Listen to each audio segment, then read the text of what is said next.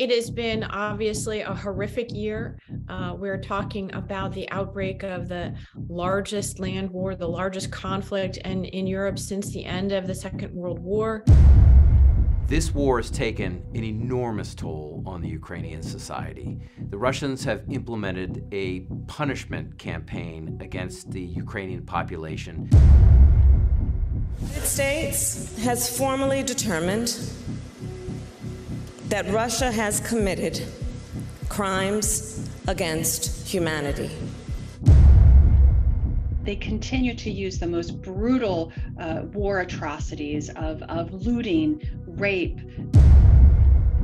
Сьогодні е, ми бачимо прицільні руйнування Росією закладів охорони здоров'я. Знищено десь 170 об'єктів закладів охорони здоров'я, зруйновано понад е, з різним ступенем we have seen so many examples of Ukrainians all across the country sacrificing so much uh, their lives, their children, their homes, uh, losing so much.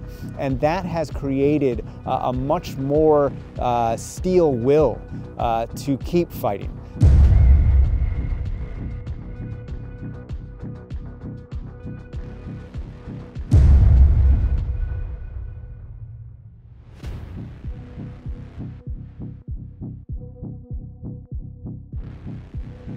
At the one year mark of the Russian invasion of Ukraine, we need to pause and reflect and consider what lies ahead in year two. In year one, Ukrainians proved their resolve to withstand the existential threat Russia poses. Ukrainians survived, they remain united, they endured, but at an extraordinary human toll, often not easy to see. The entire population subject to attacks upon power grids, water supplies, and civilian residences. Victory rests not simply on armor and technology, it rests on human and civic strength. It rests on a society that is finite, that cannot magically be doubled in size, and that does not have an inexhaustible supply of fighters. It is a nation that has to dig ever more deeply to defend itself against Russian terror with the help of its allies.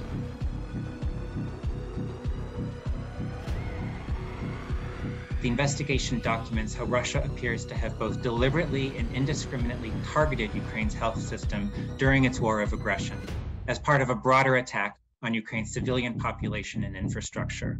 The data set shows that at least 707 violent attacks on hospitals, health workers, and other medical infrastructure have been perpetrated. These attacks have devastated Ukraine's health system during the first year of Russia's full-scale invasion. Прямий вплив полягає в, якби, в пораненнях, які відбуваються під час вогнепальних і артилерійських обстрілів, під час валів житлових будинків, соціальної інфраструктури. І прямий вплив також полягає і на психічне і здоров'я і психоемоційний стан кожного українця.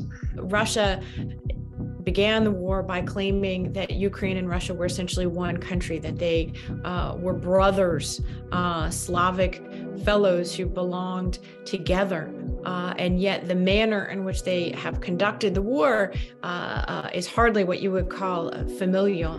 they seem to be pursuing what you might call destroy the country in order to save it practice of the war, uh, including a large number of what appear to be war crimes, crimes against civilians, uh, uh, ethnic cleansing at times, and really notable for their insistence upon prosecuting the war outside of the boundaries of what you might consider traditional military to military conflict. It is impossible to overstate the impact on every aspect of Ukrainian society. Let's take just a few examples economically. Ukraine's GDP has dropped 40% in the last year. That means entire swaths of the country, entire swaths of the economy are focused solely on the war itself rather than anything that they were producing before. Uh, in terms of daily life, there's no family here. There is no part of the country that hasn't been affected. Just permeates uh, the entire society and every single family uh, in this country. I think there are two likely scenarios over the course of 2023.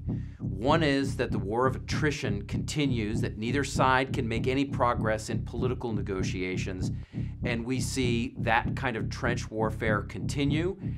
My fear is that Russian bodies continue to pile up, both wounded and dead, that the Russians continue to lash out, probably increasingly so, at the Ukrainian population. The second scenario is particularly from the Russian side that they decide to push for a temporary ceasefire. Now, I don't think Putin is, is willing to settle this war permanently. They're probably willing to fight for years if they don't get uh, as much of Ukraine as they want right now.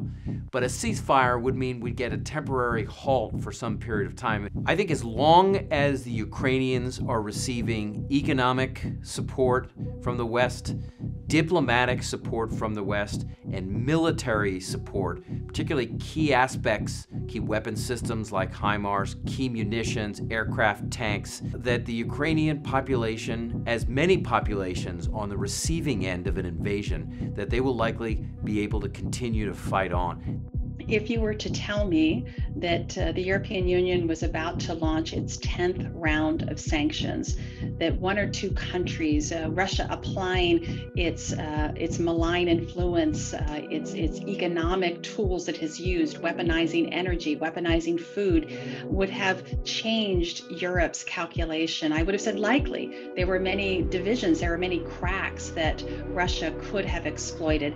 But thus far, uh, the European Union has remained very much united and very much in solidarity with Ukraine. And I would say the same thing here, despite some fracturing. Um, there is strong bipartisan support for Ukraine. And we begin with breaking news.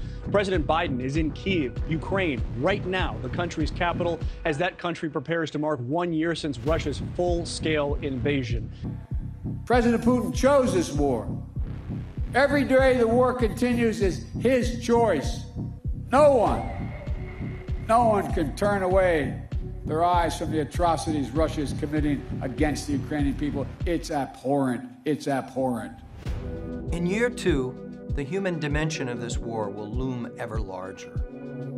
We should anticipate widening cracks, greater migration, continued high battlefield losses, trauma, and economic decline.